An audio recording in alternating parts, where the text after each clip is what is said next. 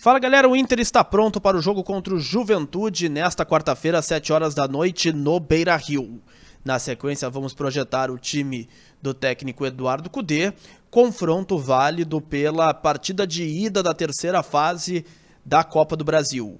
Neste conteúdo também vamos detalhar as prioridades do Inter nesta janela de transferências que começa, inclusive, nesta quarta tudo, tudo a partir de agora aqui no canal. Muito importante você chegar aqui, se inscrever, ativar as notificações, dar aquele like, o joinha bacana para o conteúdo sobre, sobre e viralizar cada vez mais aqui no YouTube.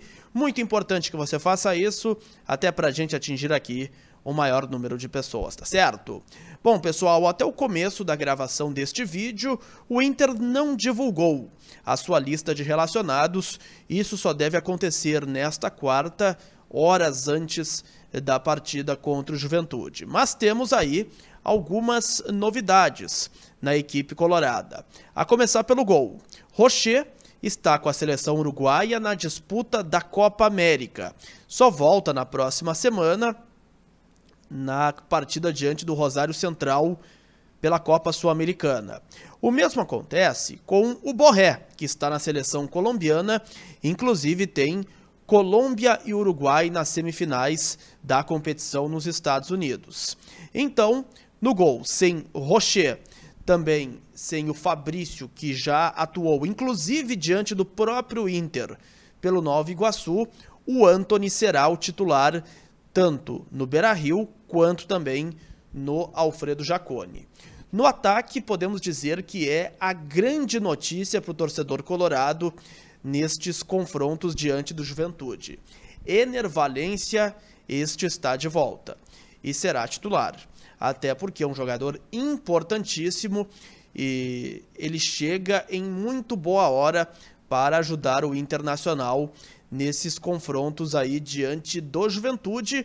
O Inter ele vai agora dar uma atenção para as Copas. A ideia inicial era priorizar o Campeonato Brasileiro, mas acontece que o Inter se atrasou demais na tabela e por isso, a partir desse momento, o Inter ele dá uma atenção para a Copa do Brasil e também a Sul-Americana. Sobre a equipe, uh, projeto uma escalação da seguinte forma contra o Juventude. Provável time: Anthony, Bustos na lateral direita, a zaga de Vitão e Fernando, com Robert Renan improvisado na lateral esquerda, até porque o René ele segue o protocolo de concussão. No meio de campo, Rômulo, Bruno Henrique e Alan Patrick. Na frente, Wesley, Wanderson e Ener Valência.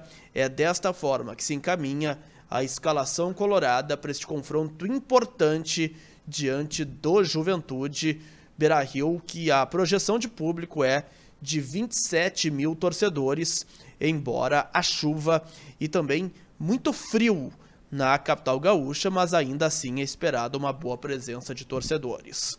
Sobre a janela de transferências que abre nesta quarta-feira, o Inter tem pelo menos três prioridades para reforçar a equipe: um zagueiro, um meia e também mais um atacante.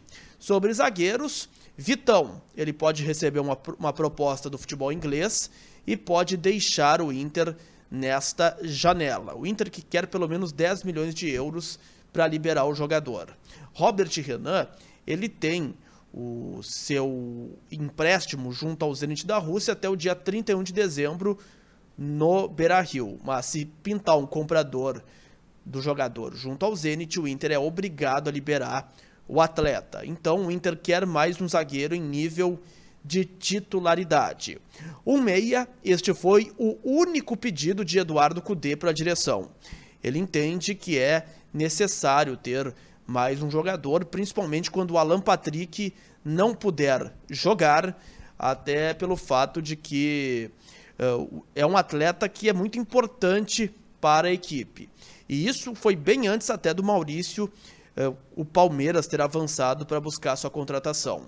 E um atacante também, porque Alário ele não vem dando resposta, o Borré segue na seleção colombiana, o Ener Valencia está voltando agora, então o Inter é necessário também que tenha mais um atacante, e são pelo menos as três principais prioridades desse momento da direção, tá certo? Gostou do vídeo? Dá aquele like, aquele joinha bacana, grande abraço a todos.